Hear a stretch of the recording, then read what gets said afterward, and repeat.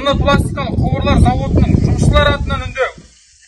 Біз жұмысшылар біз шыны пластикалық қу- құбырлар зауытының жұмысшылары мекеме басшысы директорымыз амангелді бердіманұлы айтқұловтың өз еркімен емес заңсыз әрекеттерімен алматыдағы құрылтайшымыз сәрсенов абай рашидұлының алып тастауына қарсымыз. Сол себептен шыны пластикалық құбырлар зауытының барлық ұжым атынан өз жұмысын жалғастыруды талап етеміз. Талабымыз орындалмаған жағдайда шыны пластикалық құбырлар зауытының жұмысының тоқтатылатынын ескертеміз. Жігіттер талап етеміз ба? Қысқа нұсқа болсын. Мына жердегі. Қоятын сұрақтарыңыз болса қоясыңыз кім екенін қазір айтамын таныстырамын ә, мына кісі қойбағарова гүлмира сарбақшина деген шыны пластикалық құбырлар зауытының жауапкершілігі шектеулі серіктестігінің байқау кеңесінің мүшесі.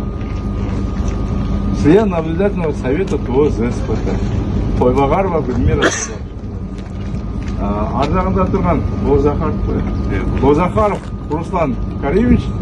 Иә бүгін менің сағат 17.00-де менің полномочиям бітеді. Сосын ертеңнен бастап осы азамат ә, осы мекеменің директорлығына Біз келіспейміз. жігіттер жігіттер әр нәрсені тыңдайық. иә. Ол әңгіме келіскенде келіспегенде емес мен сіздермен өткен жылы осы жерде бірінші ә, шілдеде кездестім білесіңдер ғой. Маған да бірталай сенімсіздіктерім болды. Мен бәрін білемін. Жетінші июль күні өздеріңізбен осы жерде жалпы жиналыс жасадық. Сол кезде қойған өздеріңіздің қалай деп айтайын. Қиын болып жүрген тағысын тағылар сұрақтарыңыз айттым Ә, енді сол кезде мен сұрақтарды шешуге тырысамын деп айттым. Енді қолымнан келгенше соны істедім. Иә. Енді бұл әңгіме бұл біреудің жеке меншігі. Мен мына жерде отырып оған жа- жа- жабысып алғанменен ештеңе де бітпеді азаматтар.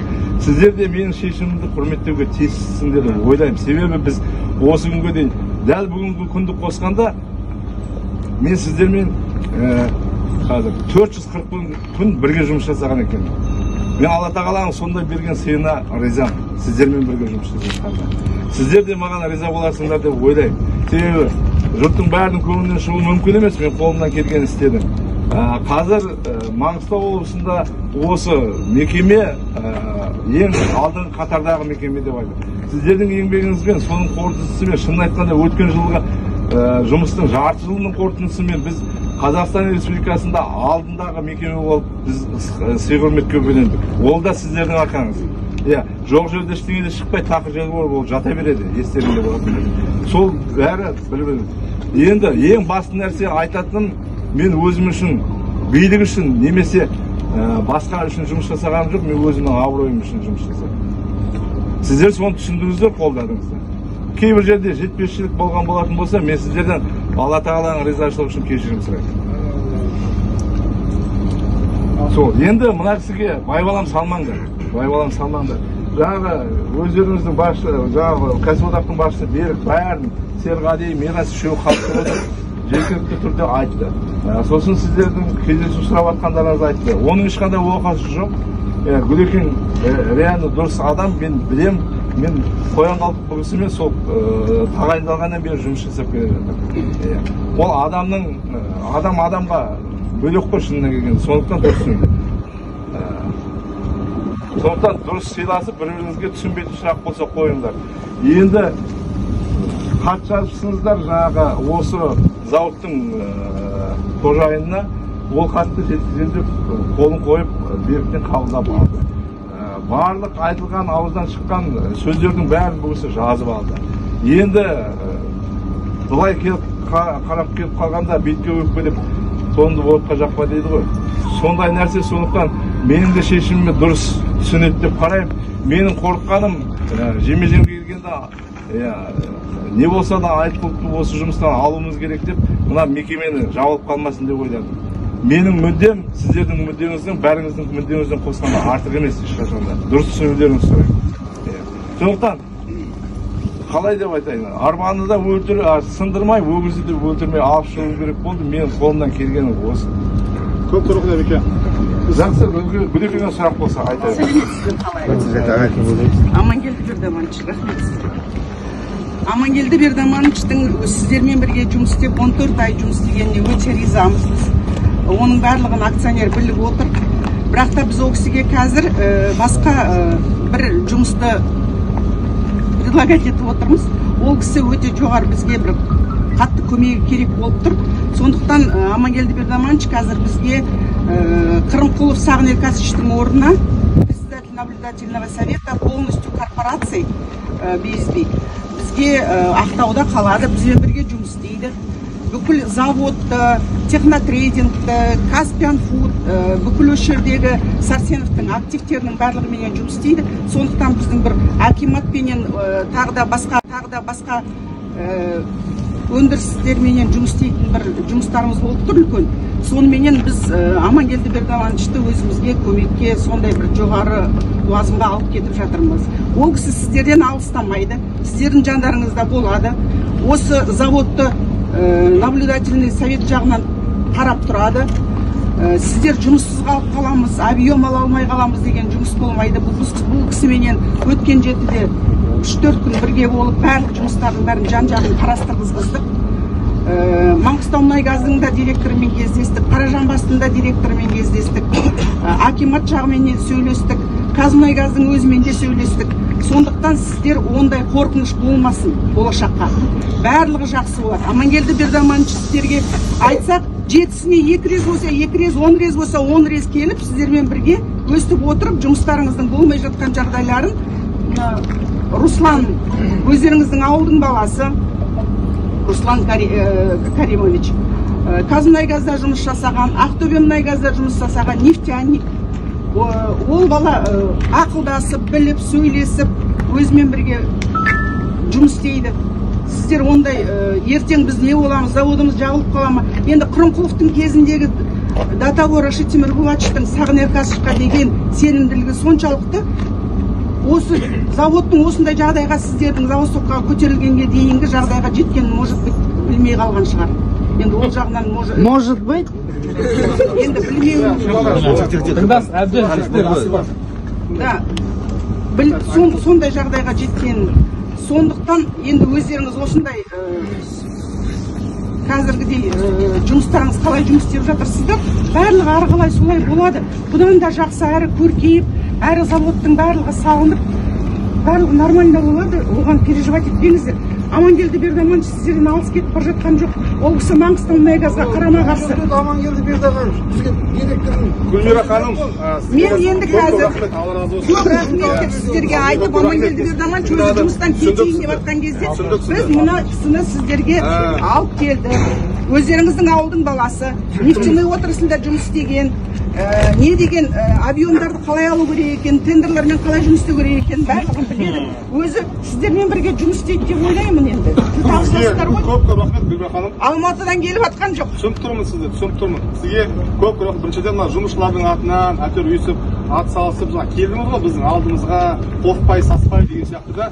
Негізі мына заводқа дейтін алматыдан келу ол өте там үлкен ерек. Бірақ біз сізге айтатынымыз да осы кісі келгелі бер әбекеңді жиырма жылда болмаған объемды алып берді бізге да. Сосын бүткіл жағдайымызды істеп жатыр қазір. цехтың ішін ремонтын болсын басқа да бір әлеуметтік жағдай болсын басқа да көп нәрсе жасадық. Енді бір ғана сұрақ. Неге осы заводты енді енді кәдімгі халықтың көзі ашылып енді кәдімгі күшті болып кеткен кезде кәдімгі келесіздер да кетіп кетіп иә алып кетесіздер. Себебі амангелдің әбекеңнің шешімі ол дейтін өзінің шешімі. Бірақ бұнда дейтін кәдімгі халықтың шешімі бар. Бұл кісі негізі өте қате істеді негізі. Неге? Себебі бұл дейтін ә, жаңа халықпен кішкене бір ақылдасу керек. Еді жігіттермен ә, кетіп қалды ренжімен бірақ халық бұған мүлдем қарсы. Қарсы ма? Қарсы! Қарсы. біз, біз, біз ешқашанда өзіміздің жағдайымызды жақсарту ә, не жаңағы бар қолымызда немізді біз просто так сосын жаңа сіз айтыпсыз ғой там ойбай там қазмұнайгаз деп жатсыз там ә, өте күшті болады деп отырсыз ғой. Біздер дейді алматының айтып келген мына сказкасіне уже дейтін құлағымыз соншалық тойды. Аж лапшамыз дейді уже кәдімгі құлағымыз қалқиып кетті уже сөзін. Енді біз оған ешкімге сенбейміз. Біз тек қана сенетін кісі мына осы кісі айбекен кісі. Осы кісі осы кісіге береміз біз тек қана осы кісінің бұл ә, ұсыныс емес сұрау емес бұл дейді кәдімгі халықтың несі? Талабы осы кісі бізде қалсын. Мейлі ол дейді қандай шешім қабылдаса да бірақ біз дейді бұл кісіні ешқайда да кәдімгі ешқайда жібермейміз. Пока өзінің жұмысын жақсы атқарып отыр ма мына вот бүткіл мына жұмысшылардың қазір жағдайы өте жақсы ма осылай ары қарай дейді бола берсін. Мен мысалы мына кісіні білмеймін де танымаймын да бірақ енді сау бол түркан келіп тұрғаны үшін бірақ саған мен айтайын бетіңе өкінішке орай бұл дейді заводтың жұмысшылары бұл дейді второсортный адамдар емес которые жаңағы там можно жаңағыдай дейді манипулировать етеді жоқ ондай емес. Бұлардың қазір бәрінің көзі ашық көкірегі қазір бәрінің көзі ашық көкірегі ояу жігіттер қазір. Ысылып тұрған адамдар иә себебі бұлар уже дейтін жиырма кәдімгі тойған адамдар уже. До такой степени тойған что уже дейтін. Кәдімгідей тек енді сол сізге ә, гүлеке от души алла разы болсын рахмет өйстіп келгеніңізге иә сол деген ол сенімсіздіктен аузымыз аққа тигенде адамды алмаңыз ал технотренинг бірден деп отыр ғой енді мана бұрын енді жаңағы кім отырды манағы сағын ерқасович деген кісі отырды например алып деп отыр ғой шынымды айтайын технотренингтің қазаны басқа ел. Басқа ел. Біз зспд басқа елміз. Ол наблюдательный дегенмен наблюдательный біз көрдік қандай екенін. Алматыдан біреу келуге жараған жоқ. Гүлбайра ханым жіберіп. ондай андай жылы мынадай бірдеме оны нетпеңіз мына. Халықтың уәжі мен мана іште де айттым. Қазір де жігіттер айтып отыр. Біздер түбегейлі қарсымыз. Ана әкелген қағаз мағаздарыңыз кейін қарай пакетке салып алып жеткізіңіз. өзіңіз қоятын қоясыз сонда деген халықтың айтқан сөзі қайда ойы қайда? Не демократичный да ол? айтқан деген ұры не демократичный да? иә жігіттер айттым ғой мен сізден сұрадым. Мен сізге айтып болсам әбеке біз сіз бүгін өмір бітіп жатқан жоқ қой. Ертең де мүмкіндік бар арғы күнде мүмкіндік бар. Иә біреуге несін сенімін алу үшін немесе жұмыс жасауға мүмкіндігін білу үшін оған мүмкіндік беру керек. Азаматтар олай қылмаңдар иә. Мен айтып тұрмын ғой сіздерге маған да сенімсіздік болды осы жерде бірақ бірге жұмыс жасадық тіл табыстық табысын. Жаман болсын жақсы болсын. Осы күйге жеттік. Мен ешкімнің қызметінен қашпаймын. Оның ішінде халықтың қызметінен қашпайтын адаммын. Айттым ғой мен сіздерге. Мен өзімнің билігім үшін келген ештеңем жоқ бұл жерге. Иә. Қолымнан келгенше таразының басын тең ұстап отыруға тырыстым. Акционердің де мүддесін жұмысшының да мүддесін осы жерде. Қолымнан келгенше мен істедім соны таразының теңестіріп ұстап отырдым деп ойлаймын. Енді сіздердің жаңағы талап қойғандарың мен талап қоюға болмайды деген әңгімем емес. Иә шынына келгенде жаңағы мешкей деген жақтатар емес. Иә өткенде майда болған оқиғаны көрдіңдер мен де адаммын ғой ет пен сүйектен жаралған иә алла тағала бұйыртса жақын арада мен ұлымды үйлендірген иә мен босауым керек мына жерден жігіттер сіздер мені жіберіңдер олай қылмаңдар азаматтық деген әр нәрсе керек бұл өмір деген айналма бүгін болмаса ертең кездесеміз бәрі иә мүмкін мен қайтып келетін шығармын оны кім біледі ешкім де білмейді иә қазір мүмкіндік берейік руслан жұмыс жасасын. Ешкімнің ешқандай қарсылығы болмасын мен ойлай менің ойым бұл жігіт қара жаяу адам емес иә шынымен мен оған кепілдік бере алмаспын бірақ қара жаяу адам емес. Сондықтан түсінсек ол жаңағы дұрыс қазір барлығы налаженный жұмыс бар. Осы бүгінгі таңдағы жеті де жеті миллиард жұмыс мен кеше берік бауырымызға да айттым ғой. Осы жылғы он үшінші жарпалатын толық жабатындай жағдай бар. Осы жылғы затыратында бәрінде иә оның ар жағында тағы екі үш ай бар. Оның бер жағында өзінің жұмысын көрсетеді. Келесі Иә, жыл бұл- бұрынғы шығар бәке келесі жыл қалай исақа келесі жыл қалай? ма бауырымыз гарантия ма гарантия ма бір бауырымыз айтқан екен жаңағы әкемнің өлерін білгенде деп та ол әңгіме жай айтыла салған нәрсе емес шығар деп ойлаймын келесі жылға ә, мен де адаммын ғой. Келесі жылға ойларым көп еді. Шынына келгенде мына зауытты басқаша деңгейге көтергім келген. Цифровизация жасау тағысын тағылар жаңа өндіріс ұйымда жаңа түрлерін ұйымдастыру. Оның бәрі енді жасамаймыз оны оны русланға айтамын мен өзіңіз сіздер иә мен жаңа айттым ғой абайдың өзі келсін арсеновке қойған сұрақтарымыз бар енді келгенше біз жұмыс жасауымыз керек жоқ жұмыс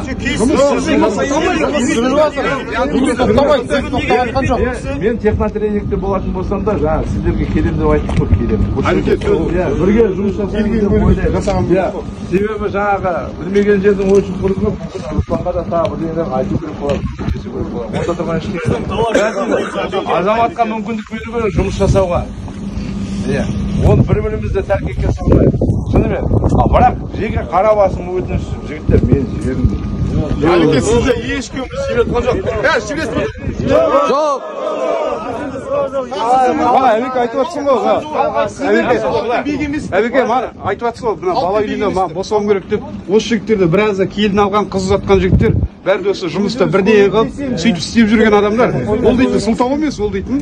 Сіздің манағы айтып отқан болашақ қойып отқан манағы әртүрлі бағдарламаңызды соны бәріміз біріге отырып ешкімді араластырмай керек ақшасын берейік өздеріне ол өздері өздері жүрсін. Біз өзіміздің жұмысымызды жалғастыра берейік жатыр соның жұмысын жүргізбейміз әбеке мен сіздерге ризамын тағы да жетер жетпес жерлерім болатын болса кешірім сұраймын кешіріңіз болыпты бірақ әбеке сіз пока іске бара беріңіз гүлге ханым сізге айтайын да бұл халықтың талабы заңның шеңберінде ертең мына кім ә, берік сен тағы несің ғой жаңағы правкомсың ғой заңның шеңберінде бүткіл нең бәрі талап жазасың бүткіл ка- халықтың қолын жинаймыз біздің бұл мына жұмысшылардың дейтін ұсыныс емес я болмаса не емес бұл нағыз кәдімгі талап бірақ бұл талап дейтін кәдімгідей заңның заңның шеңбері болу заңның шеңберінде заңның ішінде біз ертең хаттама жазамыз. Себебі егер бұлар ә, ертең бұл хаттама егер тағы да ответы келмесе енді білмеймін енді ол кезде әңгіме басқаша болатын шығар деп ойлаймын енді. бірақ енді құдай сақтасын ондайға апармай ақ қояйық себебі мына тек қана бұл бейбітшілік бізге тек қана бейбіт керек тыныштық керек жұмыс керек ақша болды басқа бізге ештеңе отыр сіз он жерден айтсаңыз да кетпейді кетпейді деген оны басымызда түрік зат өтті совет директоры әбекеңе қарап отпаған шығар енді сол ғой сол ғой ол айбекең айбекең бармаса болмайтын шығар ұжымдастар ұжымдастар кішкене сабыр сақтап мен айтайын да жаңа іште мына гүлмира ханыммен де сөйлестім. Мына новый директор болып мына келеңдеп тұрған жігітпен де сөйлестім. Сендердің аманаттарыңды жеткіздім барлығын. Талаптарыңды бердім. Мен айттым. Маған жеке айтқаннан бөлек халықтың алдына шығып бір ауыз халықтың үнін есті халықтан ешкім үлкен емес. Сол жерде. Конституцияда заң бойынша жазылған қазақстанда ойып жазылған конституция бойынша халықтан ешкім үлкен емес. Мына жерде әбекең кетемін десе де халық мына жерде қарсы болып тұр ма? Значит жаңа қазақта сөз бар ғой. Халық қаласа қан түйесін сояды деп. Ешқандай да бұл жерде мына жерде бір трудовой бір спор болып жатқан жоқ ештеңе болып жатқан жоқ ешкімді біз андай ереуілге шығады деп жатқан жоқ ақша сұрап жатқан жоқ. Аяғы жағдай орнына келді. Бірақ келтірген адам осы әбекең болғасын бұл мына жігіттердің қыздардың жағдайын ұжымның жағдайын түсінуге болады да түсініп тұрсыз ба бұлардың себебі бұрыннан аш болды да енді енді қолдары аузына жетіп жатқанда мынаны алып бара жатқасын ол тағы да күмәнсіздік та мынаның арты. Белгісіздік қорқынышты дейді ғой мысалға сондықтан себебі мына жігіттердің шырылдап тұрған сөзін бір ауыздан ә, тоқталайық әбекеңді орнына қалдырайық іштен хаттама толтырайық жансая. Заң бойынша заң шеңберінде заң шеңберінде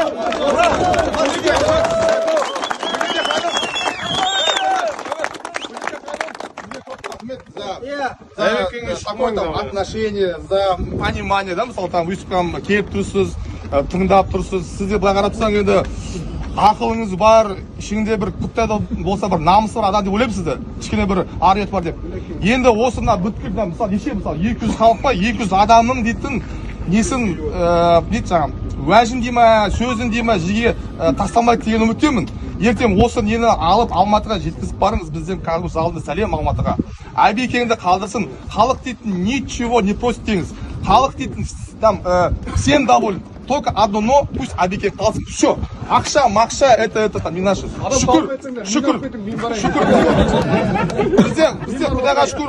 Кәдімгідей жігіттер көп аллаға шүкір. Мен өзім осы жігіттердің несі бойынша өзім де білемін сол жерге уәж сол. мен сіз түсіндіңіз да мен кәсіподақ мүшесінің төрағасына жаңа айттым ғой. Мына мына тұрған осы ай бәке сіз айта бердіңіз ғой оны түсініп отырмыз ғой біздің халықтың айтып сөйлеп тұрық қой иә правка болсаң өзің мен- тыңдаңыз, тыңдаңыз бәке. сойдым сойдым біз халықтың алдынан айтып тұрып әуекем қалсын болды ол ол сен бұлар жете берме Е, бәке беріп қалған шаруаны іштен өздерің түсінесіз иә өздері кіреді біз халық айтып тұрып әуекем қалсын болды бірақ бірақ бірақ завод тоқтамайды решение болса одностороннем порядке шеше бермеңдер иә завод завод тоқтамайды заводқа бізге өшіріп не істеп жүр вообще халық болмаса Тоже исправить. егер мына халық болмаса завод сіз қораға ана қойлар ғой әкел біреу әкеліп қалап кетеді ерде шығарып кетеді үшінші әкеліп қайта алып кетеді бір ақылдашу керек адаммен самарат уақытта өтіп кетті қой сәке тратасы әлі сөйтіп санап отыр жоғарыдағылар мінекей солай кім әуекем қалсын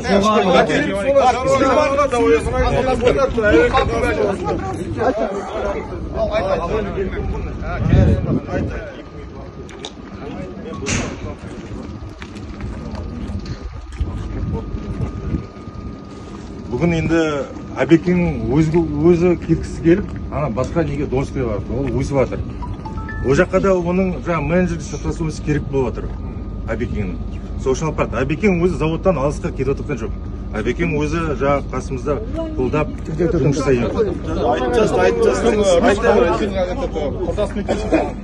кәдімгі біз ол әңгімені уже естіп келдік естиміз жалпы да бәрін түсініп тұрмын. Саған тек қана алдағы уақытта саған тек қана сәттілік ақ жол бірақ біздің жұмыс істегіміз келетін халықтың уәжі бұл әбекеңмен біз тек қана жұмысты жүргізетін де осы кісі.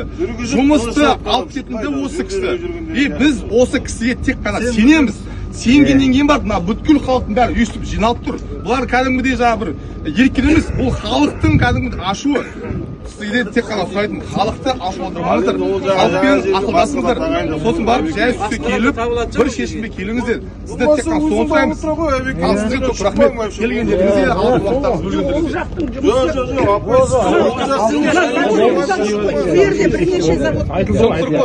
завод жаңа қазақстан деп айтып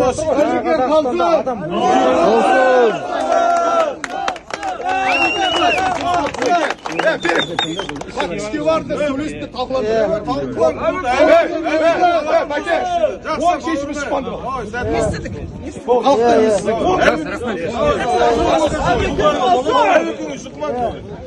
Адам ішке барды сөйлесті талқылады ол шешімі шықпады Теперь именно Пет на будет. Пенсияға дейін сексен лақ Ja, ешкім еш жаққа шықпайды жүктер бәрі осы жерде кіп ешкім шықпаң